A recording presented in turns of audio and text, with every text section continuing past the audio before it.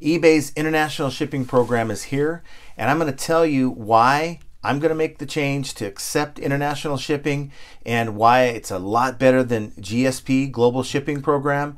I'm going to tell you about that on the other side. So, without any further ado, let's go. Hello, everyone. Welcome back to the channel. This is John from Flippin' Ain't Easy. And I wanted to make this video about the eBay international shipping program because it was very confusing for me. This evening, I sat down to try to dive into it because I was going to make a determination if it's something that I wanted to migrate over to or just opt out.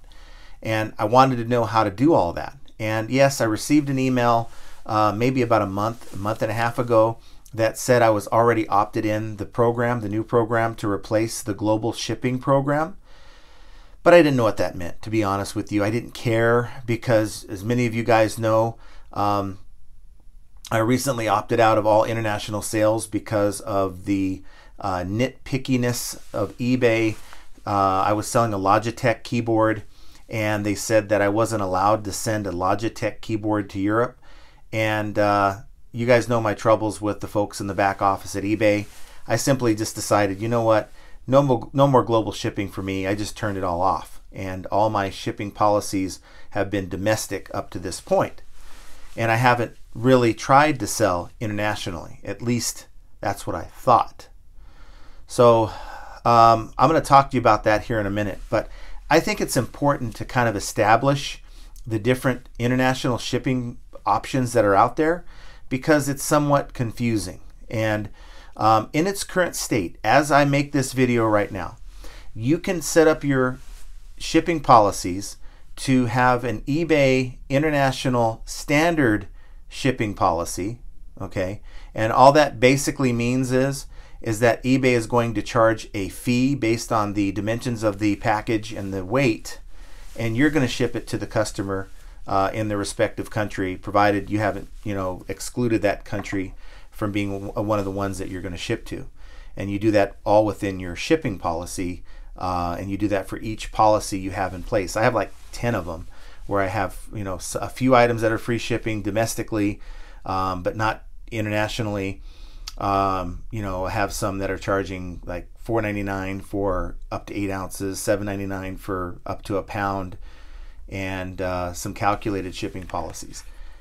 So I went in there tonight not knowing any better, and I basically tried to turn on eBay International Standard Shipping, thinking that was the new program, but it's not.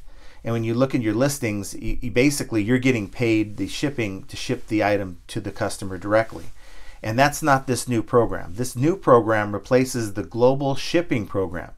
Now, for you guys who uh, may recall, um, up until this summer when the program ends, Global Shipping Program. And some of you guys may still be enrolled in Global Shipping, but essentially all it is, it's a program where it opens up your items for international buyers to buy your item.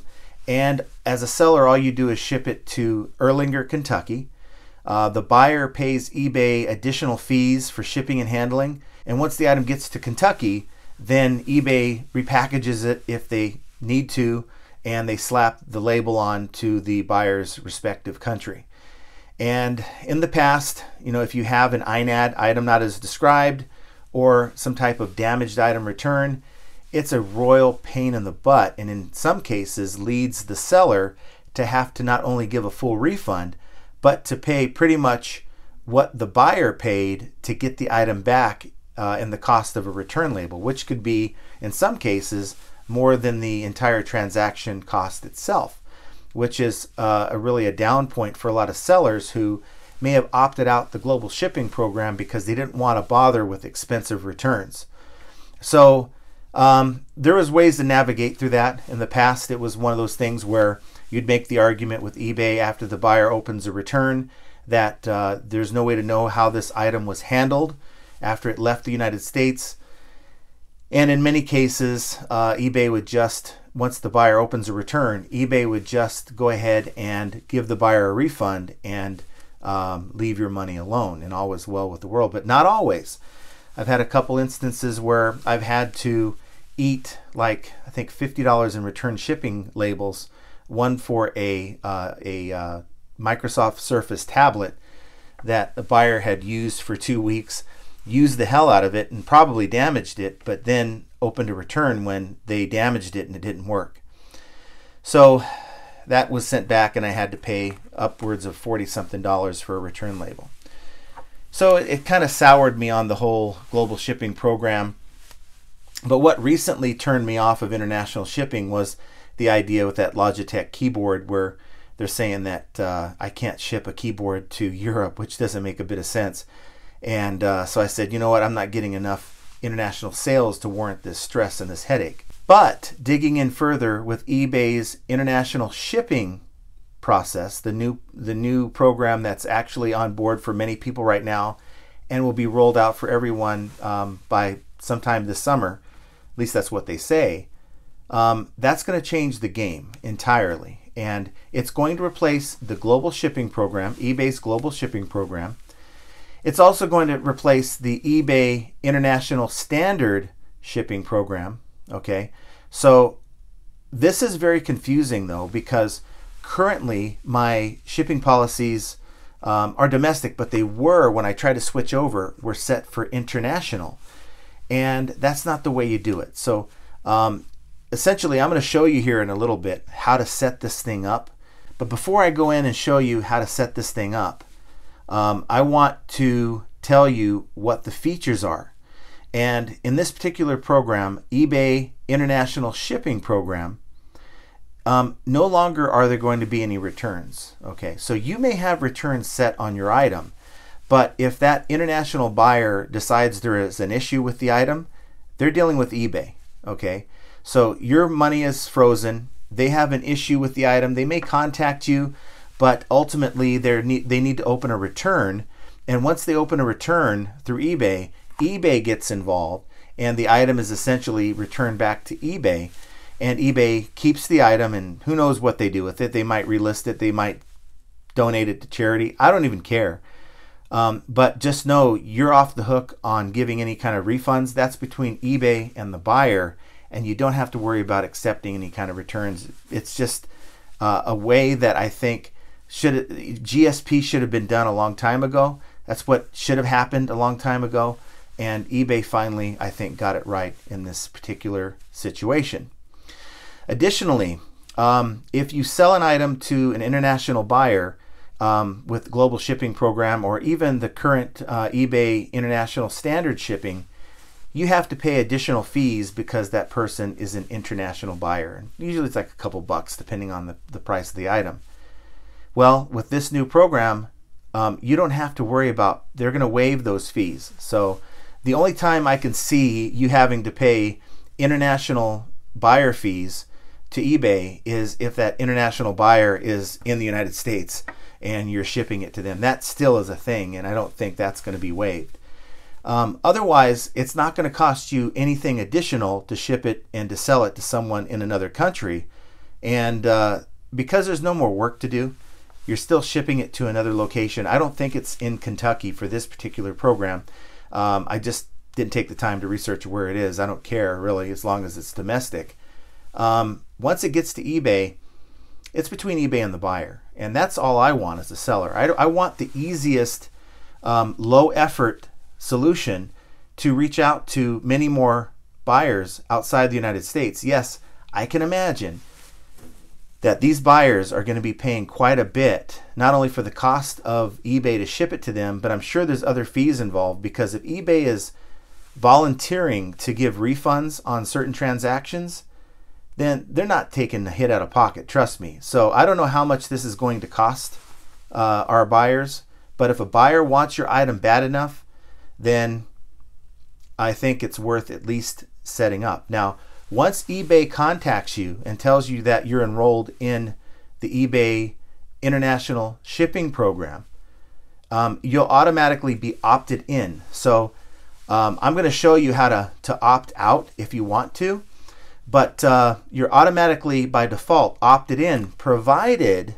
that your shipping policies, and you have to go into your business policies to change this, But provided that your business policies are set only for domestic shipping, you have to have all of your international shipping options shut off and you turn them off. Now, if you're still on GSP, you don't do this. You leave it as GSP in your shipping until they send you a message saying that you've been switched over, okay? This is only if you've been switched over from GSP to the new policy. And you should have an email from, from eBay stating that's happened. And I think about half of you should already be switched over. So let's go over to my computer and let's take a look at the steps, not only to to opt out if you wish to opt out of this program and just do your thing, right?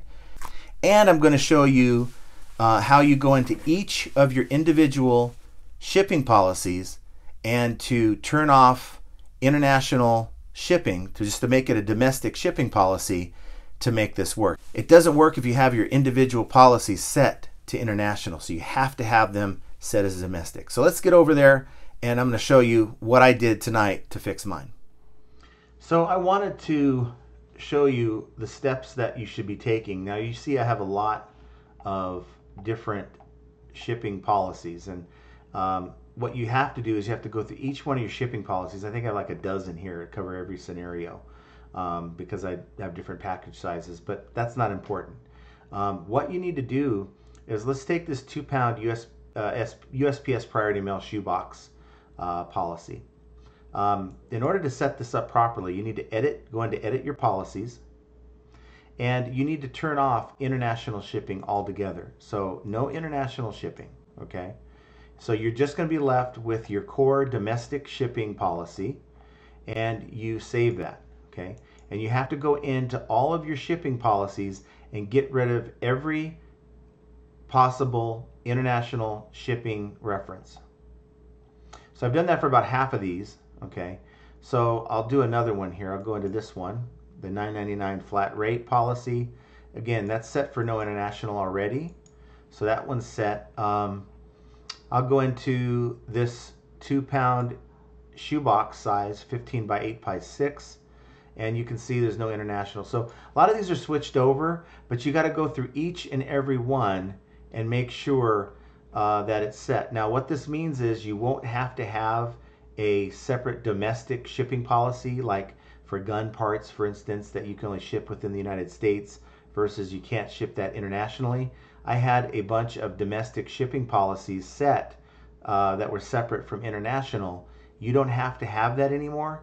Uh, it's all going to be domestic. So, according to what I know, with just talking with the rep, the U.S. rep, uh, about this new eBay international shipping program that your your policies are now going to be domestic and your what distinguishes so if you go into account settings and you go into um, your business actually you go into shipping preferences not business policies but shipping preferences you'll see at the very top here it says eBay international shipping and you're going to see this only if eBay has set you up. If you're not yet set up to uh, be out of global shipping, the global shipping program, GSP, um, which I think everyone should be uh, changed over by summer, from what I understand, then you'll see this if you're set up for eBay international shipping. And now it shows opt out, so it gives me the button to go in and opt out, and I can opt out for all these different reasons here. But um, I don't want to do that. And uh, so I'll leave it as it is. It just basically says that I'm enrolled. Okay. Now, um, simply ship the item to our domestic shipping hub and we'll handle the rest. So I don't think it's Erlanger, Kentucky, but it's going to be a similar address to that. And that's all you do is you're going to ship it domestically with your domestic shipping policies, and then they're going to take care of the rest, if that makes sense. So hopefully this explanation kind of cleared things up for you because for me it was clear as mud until I kind of dove in. So I called this evening, spoke to a rep because it was very confusing for me. And at the time when I set everything up, I set everything up with international in my policies. And it was showing eBay international standard shipping, which I knew was not it because that's going to be discontinued in July. So this rep didn't even know. It's a US rep, and she had to kind of look into it. I started digging into the policies, and no matter how you have your listing set up, it was very clear You cannot have domestic uh, international setup. It has to be domestic.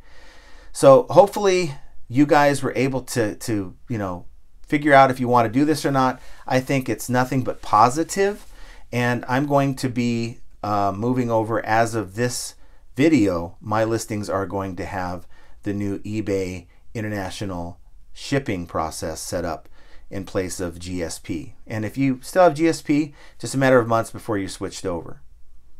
So if you enjoyed this video, if you found this information useful, please hit the like button. Um, consider subscribing to the channel, guys. I'd certainly appreciate that. And of course, if you want to be notified when we go live or make another video, hit that notification bell so you're notified when that happens. When eBay makes these changes, a lot of times it's in their favor, such as the eBay International Shipping Program.